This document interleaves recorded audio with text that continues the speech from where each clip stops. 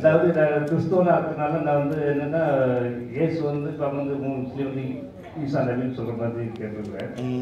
வந்து அவர் செய்த மாதிரி நபிகள் நாயகம் வந்து ஏதோ அற்புதங்கள் செய்திருக்கிறாங்களா? செய்திருந்தா எந்த அதிகாரத்தில் சொல்லப்பட்டிருக்குது? மாதிரி கேள்விகளுக்கு சரி.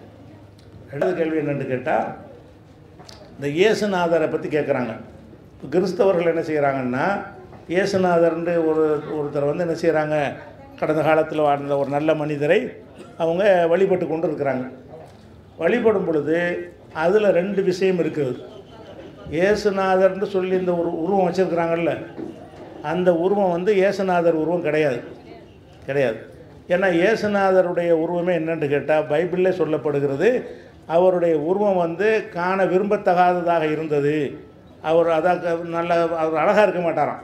இயேசுநாதர் வாழும்போது அவர் ஒரு அழகான தோட்டத்தில் இருக்க மாட்டாருங்கிறது தான் பைபிள் பிரகாரம் உள்ள ஒரு விஷயம். ஒன்று ரெண்டாவது வந்து இதெல்லாம் ஒரு அப்போ இன்னும் திருவள்ளுவர் சிலை நீங்கள் பார்த்துருக்கீங்களா?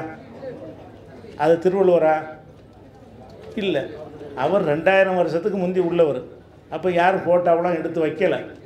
அப்போ யாரும் அவர் வரையவும் இல்லை. இப்போ இப்போ திமுக ஆட்சி கலைஞர் ஆட்சியில் இருக்கிற காலத்தில் தான் என்ன செஞ்சாங்கன்னா திருவள்ளுவருக்கு ஒரு உருவம் கொடுக்கணும்னு சொல்லி ஒரு போட்டி மாதிரி கொடுத்தாங்க. பலரும் இஷ்டத்துக்கு வரைஞ்சி அனுப்புனாங்க.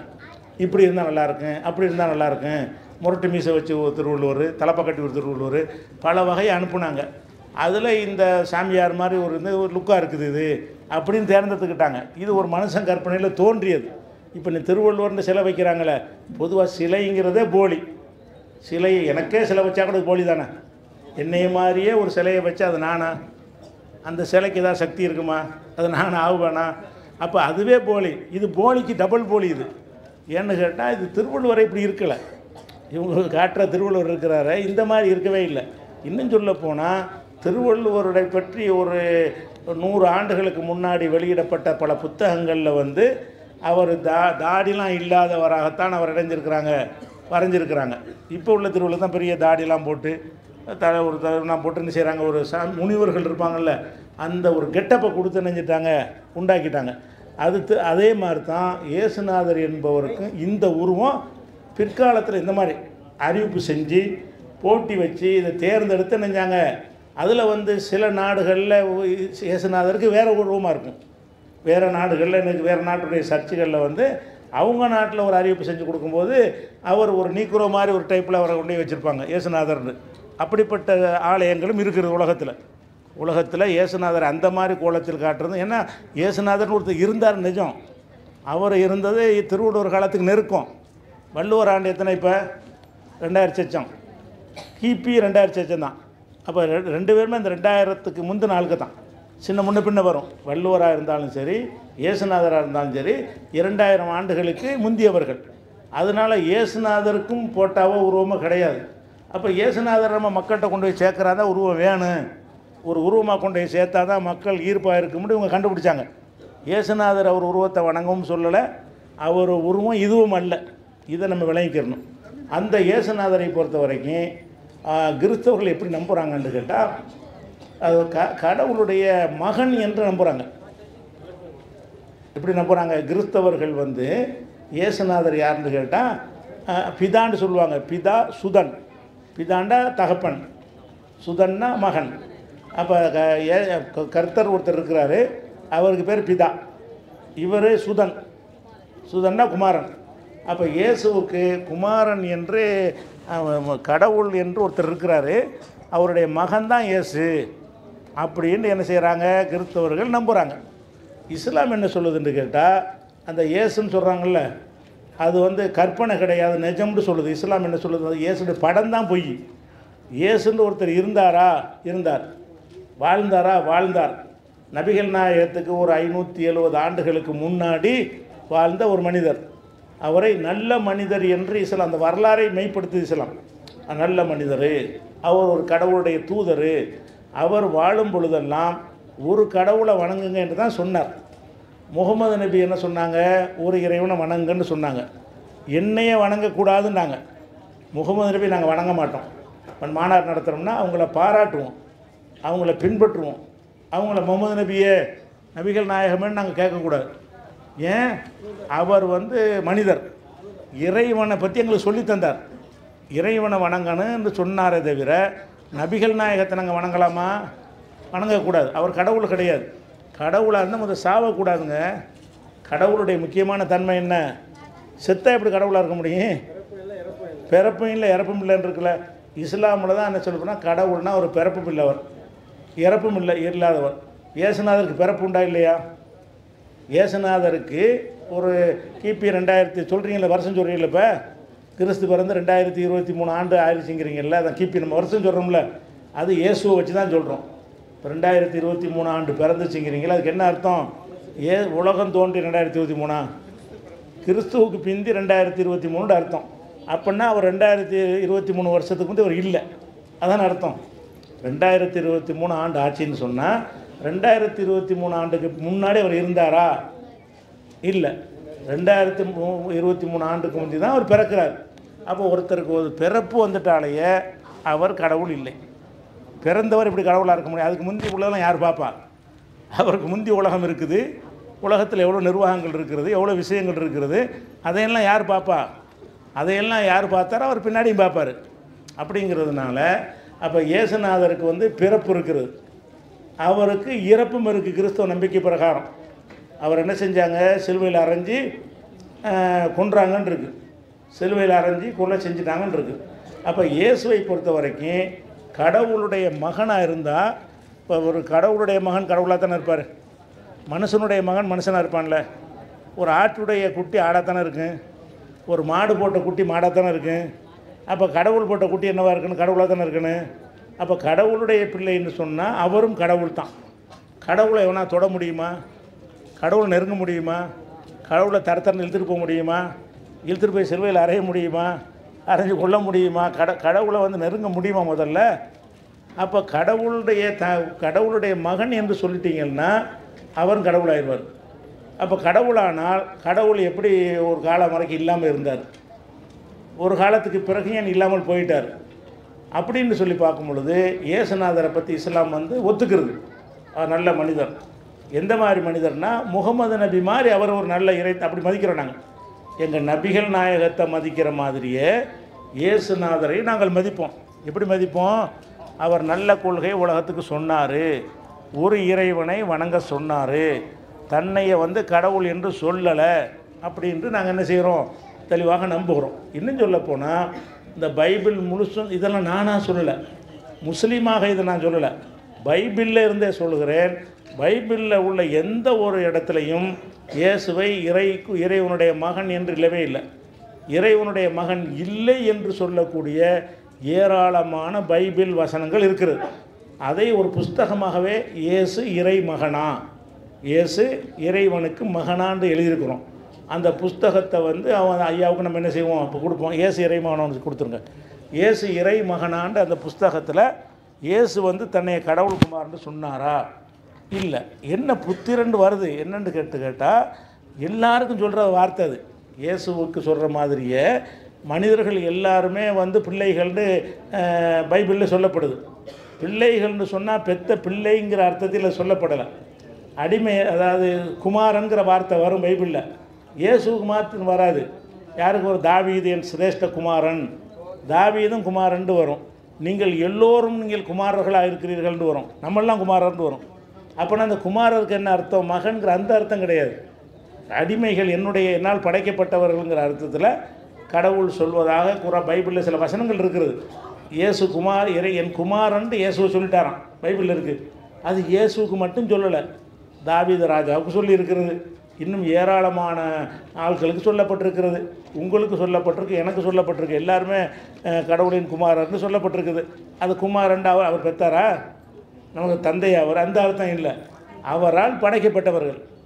அந்த அர்த்தத்தில் தான் அது வருதுங்கிறத விலைக்கு அந்த புஸ்தகம் போட்டிருக்கிறோம். அப்போ இயேசுவை பற்றி நம்ம என்னன்னா கடவுள் கடவுளுடைய குமாரங்கிற இந்த கருத்து வந்து எப்போ உண்டானுச்சு என்று கேட்டால் இயேசு காலத்தில் இந்த கிறிஸ்துவம் உண்டாகலை. நல்லா விளங்கிக்கிறங்க இப்போ கிறிஸ்துவ மக்கள் ஒரு இப்போ கொள்கையை சொல்கிறாங்கல்ல இயேசு தான் பாவத்தையெல்லாம் சுமந்துக்கிட்டார் நம்ம அதை ஏற்றுக்கிட்டோம்னா நம்ம பாவத்தை அவர் சுமந்துக்கிடுவார் பாவங்களை சுமக்கத்தான் அவர் பிறந்தாருங்கிற இந்த சித்தாந்தம் இருக்குல்ல. இது வந்து பைபிளில் உள்ள சித்தாந்தம் கிடையாது. பைபிள்னு சொன்னால் இயேசுடைய சம்மந்தப்பட்ட சித்தாந்தம் கிடையாது. இயேசுவுக்கு பிறகு பவுல் அடிகள்னு ஒருத்தர் வந்து ஒரு ஒரு குருநாதர் மாதிரி வர்றார். அவர் என்ன செய்கிறாருன்னு கேட்டால் இந்த கான்செப்டை உருவாக்கி அவர் தான் அந்த பைபிளில் சேர்க்குறார். அது நாலு சுவிசேஷத்துக்கு சம்மந்தப்பட்டது கிடையாது. அதுக்கு பின்னாடி எழுதப்பட்ட விஷயங்களில் அது சேர்க்கப்பட்டிருக்கும். அப்போ இயேசுவை வந்து கடவுள் குமாரன் ஆக்குனது பின்னாடி தான். இதை நான் சொல்லலை. இதை யார் செய்கிறாருன்னு கேட்டால் பெரிய வரலாற்று ஆசை ஆசிரியர் ஒருத்தர் இருக்கார் மைக்கேல் ஹார்ட்னு சொல்லி. அவர் உலகத்தில் உள்ள வரலாற்று ஆசிரியர்களில் சிறந்த ஆசிரியர்கள் அவர் ஒரு ஆள். அவர் என்ன செய்கிறாருன்னு கேட்டால் உலகம் தோன்றியதுலேருந்து இன்றைக்கு வரைக்கும் உலகத்தில் தோன்றிய பெரிய மனிதர்கள் இருப்பாங்கல்ல அவங்களையெல்லாம் தொகுக்கிறார். பல ஆயிரம் பேருடைய வரலாறு எடுக்கிறார். எடுத்து அதுலேருந்து பொறுக்கி எடுத்து ஒரு நூறு பேரை செலக்ட் பண்ணுறார் உலகம் தோன்றியதுலேருந்து இன்றைக்கி வரைக்கும் எவ்வளோ பேர் வந்திருப்பாங்க? எவ்வளோ பெரிய ஆளுக்கு போயிருப்பாங்க? அவங்களெல்லாம் எடுத்து அவங்க வரலாறையெல்லாம் தொகுத்து என்ன செய்கிறாருன்னா இதில் ஒரு சிறந்த நூறு பேரை தேர்ந்தெடுக்கணும்னு எடுத்து த ஹண்ட்ரட் என்கிற பெயரில் ஒரு புஸ்தகம் எழுதியிருக்கார் அவர் மைக்கேல் ஹார்ட். அந்த நூறு பேர் அப்படின்னு தமிழ்லேயும் அந்த புஸ்தகம் வந்திருக்குது. ஆ- ஆங்கிலத்தை எதன புஸ்தகத்துக்கு பேர் த ஹண்ட்ரட் தமிழில் வந்து நூறு பேர் அதை வெளியிட்டிருக்கிறாங்க. அந்த நூறு பேருங்கிற புஸ்தகத்தில் அவர் முதல் ஆளாக முகமது நபி சொல்கிறார் இப்போ நபிகள் நாயகத்துக்கு நாங்கள் மாநாடு வச்சுருக்கோம்ல அந்த நபிகள் நாயகத்து தான் இந்த உலகத்தில் வாழ்ந்த எல்லா தலைவர்கள்லையும் அவர் கிறிஸ்தவர். முதல் இடத்தை நான் யாருக்கு கொடுக்குறேன்? முகமது நபிக்கு தான் கொடுக்குறேன் அப்படின்னு கொடுக்குறாரு. இரண்டாவது இடத்தை வந்து ஒரு விஞ்ஞானிக்கு கொடுக்குறார் ஐன்ஸ்டீனுக்கு கொடுக்குறார். மூன்றாவது இடத்தை வந்து இயேசுநாதர் கொடுக்குறார். உலகத்தில் உள்ள தி- தலைவர்கள்லேயே சிறந்த ஆளுமை செய்பவர்கள் மக்கள்கிட்ட தாக்கத்தை ஏற்படுத்தியவர்கள் பெரிய அளவுக்கு புரட்சி செய்தவர்கள் என்று பல காரணத்தை வைத்து அலசி அதில் மூணாவதாக இயேசுநாதரை சொல்கிறாரு ஒன்றாவதாக அவர் கிறிஸ்தவராக இருந்து முகமது நபியை சொல்கிறார் சொல்லும்போது அவர் ஒரு காரணத்தை சொல்கிறார் நான் ஒரு கிறிஸ்தவன். நான் ஏன் இயேசுவை சொல்லலை? முகமதுவை என் முதலிடத்தில் கொடுத்துருக்குறேன்? இயேசுவை கொடுத்துருக்கலாமேன்னு நீங்கள் நினைக்கலாம். ஏன் கொடுக்கலன்னு சொன்னால் இஸ்லாம்னு சொல்லக்கூடிய எல்லா விஷயமுமே முழுக்க முழுக்க முகமது நபி தான் அது சொந்தக்காரர். இஸ்லாத்தை வேறு யாரும் உண்டாக்கி செய்யலை. இஸ்லாம்னு அவங்க என்ன செஞ்சாலும் அதனுடைய அத்தனை பொறுப்பு யாருக்குரியது? முகமது நபி காலத்தில் உண்டாக்கப்பட்டது தானே தவிர அவருக்கு பிந்தி உண்டு உண்டாக்கி சேர்க்கப்பட்டதல்ல இஸ்லாம் என்பது. ஆனால் கிறிஸ்தவம் என்பது இயேசுவுக்கு சம்பந்தம் இல்லை அவர் சொல்கிறார் இயேசுவுக்கு பிந்தி பவுல் அடிகள் உண்டாக்குன காரணத்தினால அதனால இயேசுவை மதிக்கிறாங்களே தவிர இந்த கிறிஸ்துவ கொள்கையை உண்டாக்குனவரே இயேசு இல்லைன்ட்டார். வணங்குதா அப்போ இயேசுடைய கொள்கை என்ன? ஒரு இறைவனை இஸ்லாம் தான் இயேசு. இயேசு இயேசுடைய மார்க்கம் இஸ்லாம் தான். இஸ்லாம் நாங்கள் இஸ்லாமில் என்ன கொள்கையை சொல்கிறோமோ அதுதான் இயேசு வாழும்போதும் சொன்னார் ஒரு இறைவனை வணங்குங்க கல்லை வணங்காதீங்க மனுஷனை வணங்காதீங்க கண்டதையும் போட்டு கும்பிடாதீங்க ஒரு இறைவனை மட்டும் வணங்குன்னு சொல்லி தான் அவ்வளோ எதிர்ப்புகளுக்கு ஆளானார். அது ஒரு விஷயம். அது போக இன்னொரு அடிப்படை அவங்க இயேசுவை பற்றி கேட்டதுனால நீங்கள் தெரிஞ்சுக்கிறேன்னு அவங்க இயேசுடைய விஷயத்தை அவங்க என்ன சொல்கிறாங்கன்னா எல்லா மனிதர்களும் பாவிகளாக பிறக்கிறாங்கங்கிறாங்க. இந்த இந்த கான்செப்ட் எப்படி வருதுன்னு கேட்டால் நம்ம பிறக்கும்போது எப்படி பிறக்கிறோம்? பாவியை பிறக்கிறோங்கிறாங்க. பிறக்கிறவனுக்கு பாவம் இருக்குமா? பிறந்த குழந்தைக்கு என்னங்க பாவம்? பாவமெல்லாம் ஒரு பதினஞ்சு வயசுக்கு மேலே விவரம் வந்து அவன் செய்கிறது தான் பாவம்னு சொல்ல முடியும். விவரமற்ற குழந்தை தன்மையில் பாவம் இருக்குமா? ஆனால் கிறிஸ்தவர் என்ன செய்கிறாங்கன்னா எல்லாரும் பாவியாக பிறக்கிறாங்கங்கிறாங்க. எங்கேயா நாங்கள் எங்கே பாவம் செஞ்சோம்?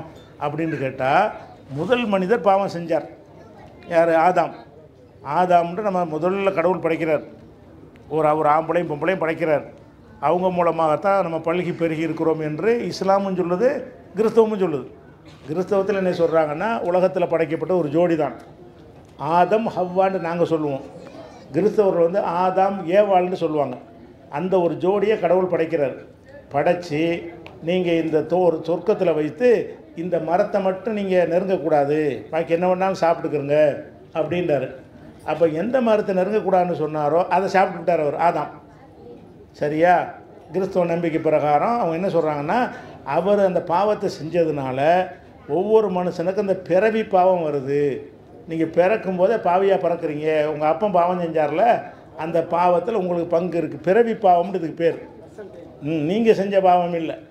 உங்களுடைய த அந்த ஆதாம்ங்கிற தந்தை என்னஞ்சிட்டாரு பாவம் செஞ்சிட்டார்.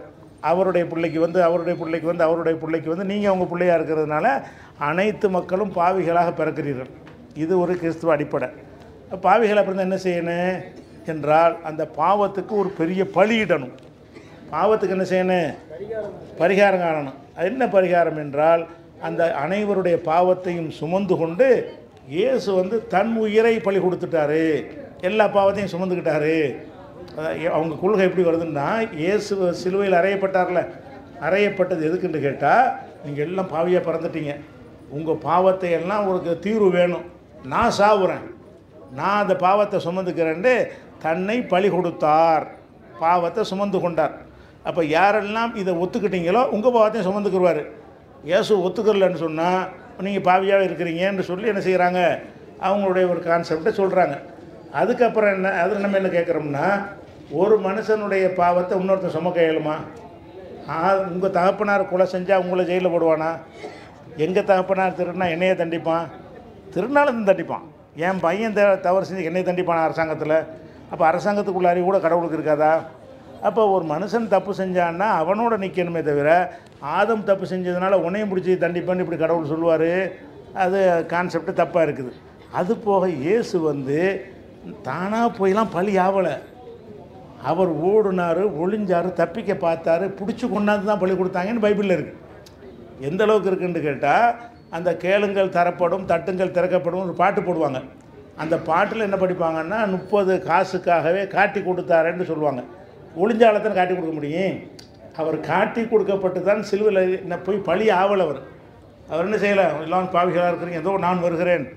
அவர் கடவுளை என்னை காப்பாற்றுன்னு போய் பிரார்த்தனை பண்ணுறாரு ஏலி ஏலி லாமா சபகுத்தானி தேவனே தேவனே ஏன் என்னை கைவிட்டாய்ங்கிறாரு. இரவு முழுதும் என்ன செஞ்சார்? அழுது அழுது பிரலாபிக்கிறார். நம்மளை பிடிச்சிட்டு போயிடக்கூடாது பிடிச்சிட்டு போயிடக்கூடாது என்னை அவன் கையில் பிடிச்சி கொடுத்துறாத. இதெல்லாம் பைபிளில் இருக்குது. என்னைங்க என்னை பிடிச்சி கொண்டு எங்கே கொடுத்துறாதுன்னு சொல்லி என்ன செய்கிறது அதை ஏசு சிலுவையில் அறையப்பட்டாரான்னு ஒரு புஸ்தகம் போட்டிருக்கிறோம். அந்த புஸ்தகம் ஐயாவுக்கு என்ன செய்கிறோம் தர்றோம் அது கொடுத்துருங்க அதுவும் சேர்த்து கொடுத்துருங்க. அப்போ அந்த மாதிரி வந்து அந்த சிலுவை விஷயத்தில் வந்து அவர் ஒளிஞ்சார். பிடிச்சி கொண்டாந்தவருடைய சீடர்களாக இருந்த ஒருத்தன் தான் முப்பது காசு வாங்கிட்டு இவன் நான் யாரை கட்டி பிடிக்கிறேனோ அவர் தான் ஏசு நீங்கள் பிடிச்சிக்கிறங்க. அப்படின்னு சொல்லி இயேசு இப்படி போய் கட்டி பிடிக்கிறான். ஓ இவர் தான் ஏசான்னு தூக்கிட்டு போயிட்டாங்க. அப்போ இவர் தானாக பலியானா தானே பாவத்துக்கு பரிகாரம்? இவராக பலியாகலையே? இழுத்து கொண்டு போய் அடைச்சாங்கன்னு வருது பைபிள் பிரகாரம். இழுத்து கொண்டு போய் தானே சிலுவையில் அறிஞ்சிருக்கிறாங்க அதனால அந்த விஷயங்களை மட்டும் இஸ்லாம் வந்து ஒத்துக்கிற மாட்டேங்குது. ஆனால் இயேசுவை கண்ணியப்படுத்துது. இயேசுவை மதிக்கிறது. இயேசுவின் பெயரால் சொல்கிற பொய்களை மட்டும் என்ன செய்கிறது? இஸ்லாம் வந்து மறுக்குது. சரி அவங்க என்ன கேட்குறாங்கன்னா இயேசு நிறைய அற்புதங்கள் செஞ்சார். அது மாதிரி முகமது நபி செஞ்சுருக்காங்களான்னு கேட்குறாங்க அற்புதங்கள் செய்த இயேசும் சில அற்புதங்களை செஞ்சுருக்கிறார். ஆனால் பல நேரங்களில் அவருக்கு அற்புதம் செய்ய முடியாமலும் இருந்திருக்கிறது. இயேசு வந்து கடவுளுடைய செய்தியை சொல்லும் பொழுது சில அதிசயங்கள் செய்தார்னு பைபிளில் இருக்கிற மாதிரி குரான்லேயும் இருக்குது ஒத்துக்கிறது. ஆனால் இயேசு வந்து என்ன செய்கிறாருன்னு கேட்டால் பல சந்தர்ப்பங்களில் இன்னும் சொல்கிறேன் அவர் காட்டி கொடுக்குற பழி அவர் விஷயம் அவருக்கு ஏன் தெரியலை. அற்புதம் செஞ்சார்ல? இவன் தான் நம்மளை காட்டி கொடுக்குறதுக்கு வந்திருக்கிறான் கட்டி பிடிக்க போகிறான் அப்படின்னு தெரிஞ்சுட்டு நவண்டு போடான்னு சொல்லிட்டு பிடிச்சிக்கிற வேண்டியதானே அப்போ அது அற்புதம் செய்ய முடியல. இயேசுவுக்கு என்ன செய்ய முடியல? மனித சக்திக்கு அப்பாற்பட்டு அவருக்கு சிந்திக்க முடியல. முகமது நபிக்கு முடியாது அப்படி தான் நாங்கள் செய்கிறோம் இயேசுக்கு மட்டும் சொல்லலை. யாராலையும் முடியாது. அப்போ இயேசு என்ன செய்கிறாரு ஒரு பசிக்குதுன்னு போகிறாரு திராட்சை தோட்டத்துக்கு போகிறாரு போனவொன்னே அந்த திராட்சை பழத்தை சாப்பிட்றாரு புளிக்குது. புளிச்ச உடனே திராட்சை பழத்தை போட்டு சபிக்கிறார். நாசமாக போய் இப்படின்னு சொல்லி மரத்தை போய் என்ன செய்கிறார் திட்டுறாரு. அப்போ இவன் இனிக்கிற பழமை ஆக்க முடியல? அற்புதம் செஞ்சாருங்க. அற்புதம் செய்யாமல் நிறைய இருந்திருக்கிறாரு. அற்புதம் சில செஞ்சதாக காட்டினாலும் அவர் வாழ்நாள் பூராவுமே அற்புதம் செய்யாத மனிதராகவே நெஞ்சார் இருந்தார். அந்த மாதிரிலாம் பார்க்குறோம். அப்படிலாம் இருக்கிறதுனால முகமது நபியை பொறுத்த வரைக்கும் சில அற்புதங்கள் அற்புதம் நான் முக்கியத்துவம் கொடுக்க மாட்டோம். ஒன்று ரெண்டு அற்புதங்கள் சில செஞ்சதாக வருது அவ்வளோதானே தவிர அவங்க அற்புதம் செய்யக்கூடிய ஒரு மந்திரவாதி மாதிரி தன்னை அறிமுகப்படுத்தவே இல்லை. அவங்க தன்னை சீர்திருத்தவாதியாக தான் முகமது நபி செஞ்சாங்க அறிமுகப்படுத்தினாங்க. அப்போ சுட்டி காட்டுறது போருக்கு போகிறது எதிர்த்து நிற்கிறது உயிரை பணைய வைத்து என்ன செய்கிறது தீமைக்கு எதிராக போராடுறது அப்படி தான் இருந்திருக்கிறாங்க. அதுதான் இயேசுநாதருக்கு. முகமது நபிக்கு உள்ள வித்தியாசம். முகமது நபி ஒரு ஆட்சி தலைவராக இருந்தார். எல்லாத்தையும் பேசினார். முகமது நபி வந்து ஒரு ஆட்சி அரசியலை பற்றி பேசினார். இயேசுநாதர் வந்து அரசியல்லாம் இருக்கலை ஆட்சியெலாம் இருக்கலை அதெல்லாம் அவர் பேசலை. சும்மா ஆன்மீக விஷயத்தை மட்டும். அன்றைக்கி யூத பாதிரிமார்கள் செஞ்ச மதத்தின் பெயரால் சுரண்டல் இருக்கலை.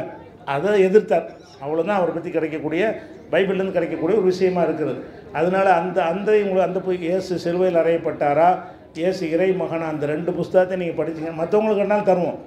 அவங்க கிறிஸ்த சோதர் கேட்டாலும் தருவோம் மற்றவங்க அந்த புஸ்தகம் வேணும்னு கேட்டாலும் சேர்த்து நீங்கள் வாங்கிக்கலாம். எல்லாருக்குமே ஃப்ரீயாக தருவோம். வேறு